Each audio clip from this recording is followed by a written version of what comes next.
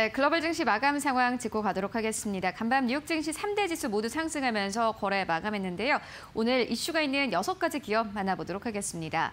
첫 번째 기업은 베스트바이입니다. 장전의 실적을 발표했는데요. EPS와 매출 모두 다 시장의 컨센서스를 상회했습니다. EPS의 경우에는 2.98달러로 집계가 됐고요. 전체 매출의 경우에는 118억 5천만 달러로 집계가 됐다고 합니다. 재택근무가 늘어나고 TV 스트리밍 서비스의 이용자 수가 크게 늘어나면서 베스트바이 전체 매출이 전년 동기 대비해서 20% 이상 증가했다고 하는데요.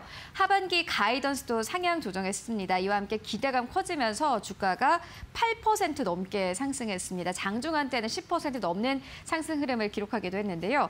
121달러 선에서 거래를 마감했습니다. 네, 이어서 다음 종목들 만나보도록 하겠습니다. 간밤 나스닥 지수를 이끈 건 바로 중국 기술, 중국들의 기술주였습니다. 일단 중국 기반 기술주들이 저가 매수가 대량으로 유입되면서 주가가 큰 폭으로 뛰었는데요. 일단 규제 전망이 명확해지면서 투자자들이 매수에 나섰다라는 분석이 나오고 있습니다. 또 어제 중국의 인민은행 측에서 안정적인 통화 정책을 유지하겠다라고 밝히면서 랠리가 다시 한번 나왔는데요. 알리바바의 경우에는 6% 넘게 상승하면서 171달러 선에서 거래를 마감했습니다. 징둥닷컴의 경우에는 두 자릿수의 상승을 보였는데 아크 인베스트먼트의 캐시우드가 다시 한번 대량으로 매수했다라는 소식이 나오면서 일단 징둥닷컴에 대한 대량 매수가 크게 나왔습니다. 14% 넘게 상승하면서 75달러 선에서 거래를 마감했습니다. 네, 그리고 다음 종목들도 만나보도록 하겠습니다. 밈 주식인데요. 간밤에 밈 주식들이 큰 폭으로 상승했습니다. 일단 최근에 뉴욕 증시의 거래량이 좀 크게 준 상황이라고 하는데요. S&P 500의 ETF 거래량은 평균의 3분의 1로 줄어든 상황이라고 합니다. 그런데 다시 한번 밈 주식들이 급등하면서 개인 투자자들이 다시 한번 증시로 돌아오는 것이 아니냐라는 기대감이 나오고 있습니다. 게임스톱의 경우에는 27% 넘게 상승했습니다. 장중한 때는 30% 넘는 급등 흐름을 나타내기도 했는데요. 210달러 선에서 종가를 형성을 했고요. AMC 엔터테인먼트는 20% 넘게 상승하면서 44달러 선에서 거래를 마감했습니다. 네, 그리고 마지막 기업 만나보도록 하겠습니다. 에어비앤비입니다. 이슈가 좀 여럿 있었는데 에어비앤비 CEO가 전 세계 아프간 난민 2만 명에게 임시 숙소를 공짜로 제공을 하겠다라고 밝혔습니다. 이 CEO는 우리 시대의 가장 큰 인도주의 위기다, 위기다라면서 다른 기업도 나서야 한다라고 밝혔는데요. 사실 이 기업에게는 악재가 될 수도 있었던 뉴스였지만요. 내년 봄에 이 코로나 종식이 될 수도 있다라는 기대감이 나오면서 간밤 시장에서는 여행 주들이 일제히 상승 흐름을 보였습니다. 에어비앤비도 마찬가지로 9% 넘게 상승하면서 161달러 선에서 거래를 마감했습니다. 네, 이렇게 여섯 가지 기업들을 만나보고 왔는데요. 전문가의 시선은 어떨까요? 오늘은 Private Equity의 정호연 이사 만나보도록 하겠습니다. 안녕하십니까? 네, 안녕하세요.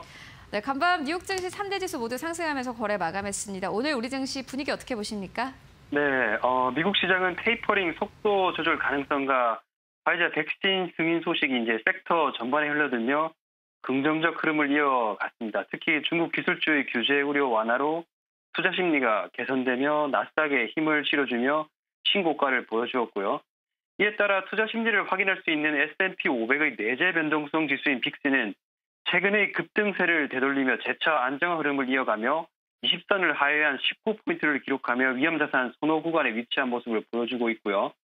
어, 웰스파고 같은 경우에는 S&P 500의 연말 목표가를 테이퍼링 우려의 부정적 이슈보다는 실적 전망 상향 조정에 무게를 두며 어, 종전 3,850에서 4,825로 화끈하게 상향 조정을 한 상태입니다. 어, 한국 증시는 최근 경기 둔화 우려 이슈에 특히 더 민감하게 반응하며 독일 지수는 물론 신흥국 증시를 비롯한 타국 증시 대비 하락의 정도가 더 심한 모습을 보여주다 반등하였는데요. 거래 대금이 거래 대금 아직 크지 않은 가운데 외국인이 10일 만에 순매수를 보였고요. 양일간에 걸친 반등은 신흥국 증시 대비 어, 두드러진 하락에 따른 기술 기술적 반등의 의미도 어, 있기 때문에 추세 전환 여부는 좀 더 지켜봐야 할 것으로 지금 판단되고 있습니다. 어, 급락 때 매수를 하였다 단기 반등 때 매도를 하지 않으면 수익을 좀 내기 힘들었는데요. 아직까지는 종목별 단기 매매 전략이 좀 좋아 보이고요. 어, 증시와 관련된 매크로 관련 지표는 금일 긍정적 흐름을 보여주었습니다. 달러 인덱스는 3일 연속 하락하며 안전자산 선호세의 약화 흐름을 보여주고 있고요. 이는 원달러 환율의 약세 압력 완화와 passive 자금 유입에 조금은 긍정적으로 작용할 수 있습니다. 코스피 방향성과 상관관계가 높은 원자재 통화인 호주 달러도 상승에 성공한 모습을 지금 보여주었고요.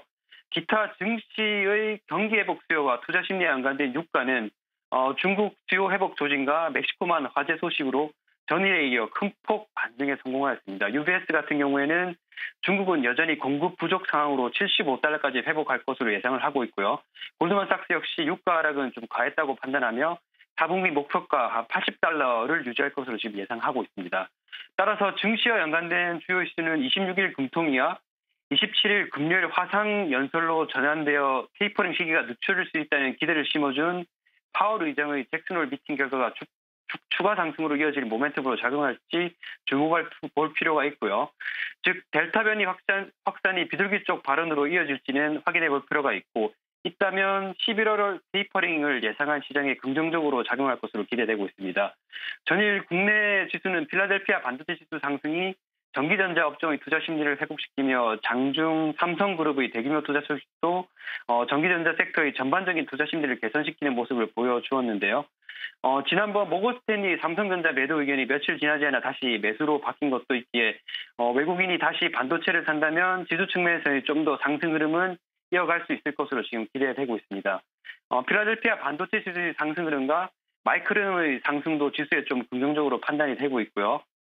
어, 미국에 상장된 중국주로 구성된 어, 골든 드래곤 ETF의 반등 성공에서도 지금 확인 가능하듯이 어, 중국의 규제 리스크가 완화된 모습이었는데 한국 증시도 저가 매수세 유입이 가능한 어, 단기 낙폭 과대 업종의 단기 매수 매도 전략은 유효해 보입니다. 어, 특히 금일 미 증시는 여, 여행주 카지노 주가가 긍정적 흐름을 보여주었는데 어, 백신의 정식 승인으로 노동자의 백신 접종 의무를 부과하였기에 어, 4분기를 대비해 가장 큰 타격을 받았던 경제 재개방주에도 다시 한번 가심이 필요해 보입니다. 네, 알겠습니다. 지금까지 정호연 이사와 함께했습니다. 고맙습니다. 네, 감사합니다.